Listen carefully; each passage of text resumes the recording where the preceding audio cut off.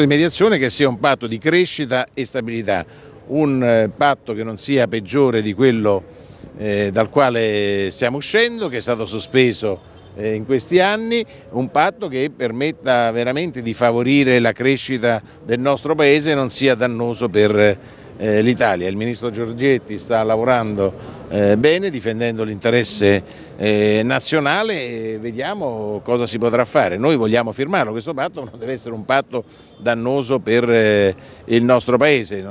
I patti a livello europeo devono andare bene a tutta l'Europa, non a alcuni paesi sì e ad altri no. Quindi non troppo rigore, flessibilità e aiuti alla crescita. Ministro...